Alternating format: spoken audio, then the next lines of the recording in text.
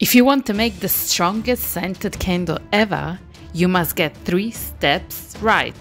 Make sure you stay till the very end because I am sharing tips that you haven't heard before. Let's get started.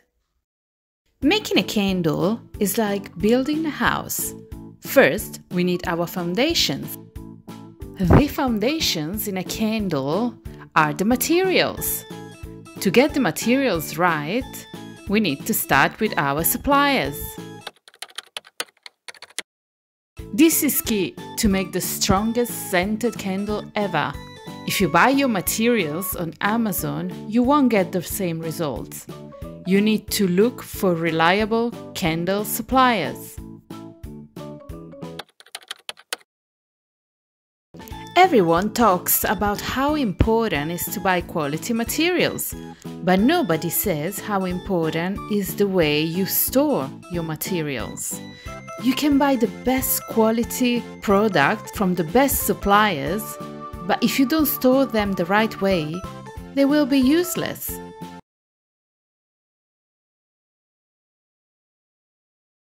Direct sunlight and UV rays are damaging to fragrance oils and waxes.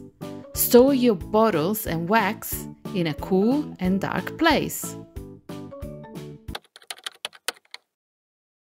Nobody talks about it, but this is key. The average shelf life of fragrance oils is about a year. Don't use old fragrance oils. Your wax plays a very important role in making the strongest scented candle ever. Some waxes just don't work well with some fragrance oils. Soy wax is known for being more temperamental. If consistency in your candle line and a punch in the face type of scent is important to you, you may want to consider switching to a paraffin wax.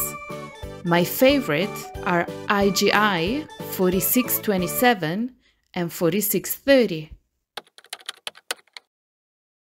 If you prefer using a soy wax or a blend, you may consider an additive such as Vybar.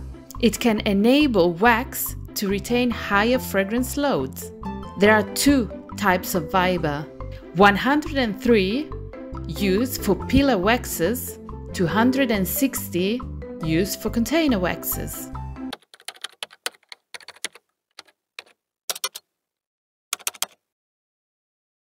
Essential oils are volatile.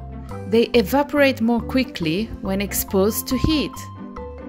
Candles made with essential oils don't retain their scent as long as candle made with fragrance oils. Use fragrance oils made for candle making. I am going to do a separate video on essential oils and fragrance oils, which I'm sure will help you a lot in your candle journey.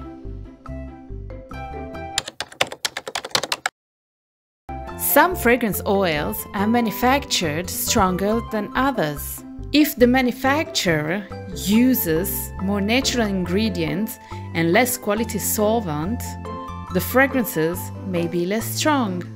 You may have to buy different fragrance oils from different suppliers to find the best one for you.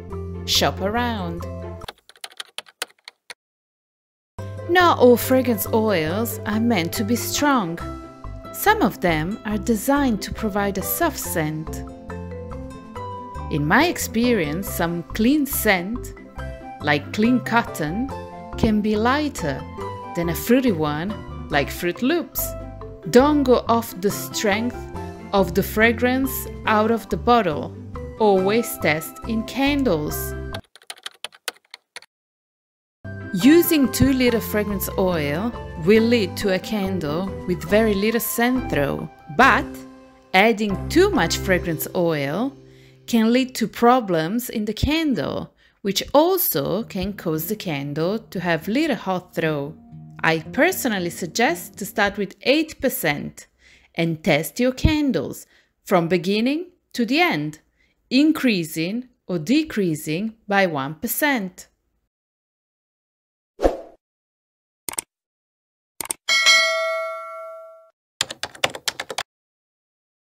Having the right wick for your wax is very important for a strong hot throw. Research which wick works best with your type of wax. Also, using the correct size of wick can help with the scent throw. Too small of a wick will create a small burn pool, which will lead to poor scent throw. Too large of a wick may burn too hot and actually burn off the fragrance, which also can lead to poor scent throw. A small candle will never have the hot throw of a large candle. If you want the strongest scented candle ever, you may want to consider making a bigger candle. I recommend starting with at least 10 ounces or about 300 grams container. Okay, now you know that you need to make a bigger candle. But did you know that the shape of your jar is very important too? Instead of choosing a tall and narrow jar, choose a wider and shorter container. Because the important factor in your candle is the diameter. Having a larger diameter will enable you to put more wicks. And this is my next point. Double or triple wicking could be a game changer for you. The melt pool plays a very important role in the hot throw. Using two wicks instead of one or three instead of two may help you make the strongest scented candle ever. I personally recommend the following.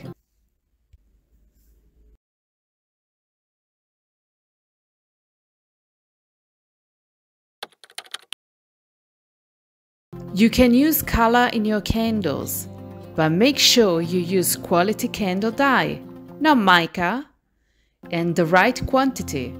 Check with your supplier. Using the wrong dye or using too much dye can clog the wick, which will affect the scent throw. If you're getting some value from this video, please give it a thumbs up. Otherwise, give it a thumbs down. Okay, now we have our foundations. The next step is the structure of the house, which is the process. Adding your fragrance oil at a low temperature may prevent the fragrance oil from binding with the wax. Adding the fragrance oil at a too high of a temperature may cause it to burn off in the melted wax. I personally recommend checking the extraction of your wax and test, test, test. To ensure that the fragrance is completely binding with the wax, always stir the fragrance oil for 2 to 3 minutes. Set a timer, don't just guess it.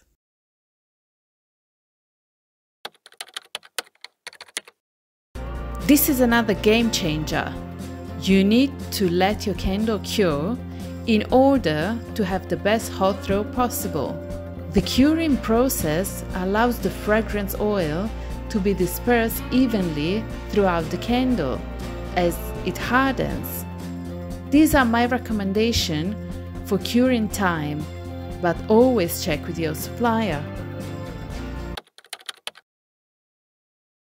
Not everyone agrees on this, but I personally recommend curing the candle with the lid on. First, the lid on top of the candle keeps the candle wax clean from dust so you have a beautiful clean candle. Also, by using a lid, you don't give a chance to the fragrance oil to escape. This way, your candle will have a great scent throw, cold and hot. This is vital to know what is working and what you need to change next time. Don't use stick notes that you might lose.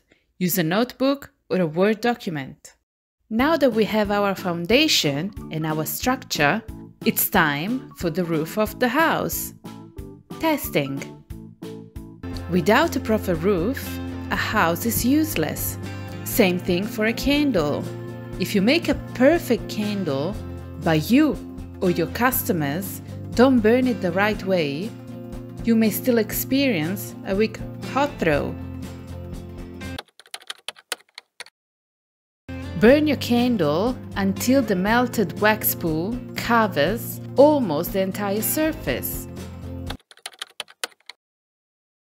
A smaller candle may smell amazing in a small bathroom, but go unnoticed in a large living room.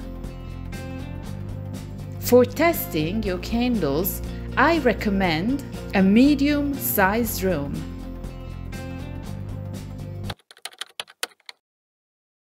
Make sure the candle is not placed near any open windows or other places where the scent can escape.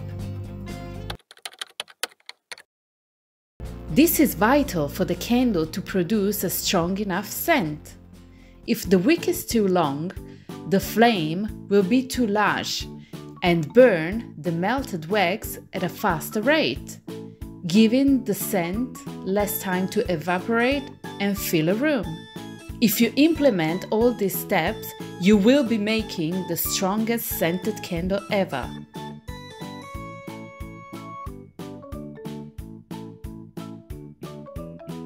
If, after doing all this, your candle still doesn't smell strong, get a second and a third opinion. You may be nose blind because you are making so many candles, or simply because you got a cold or hay fever. Let me know in the comment down below which tip is your favorite and watch my candle maker for dummies guide next. Ciao guys!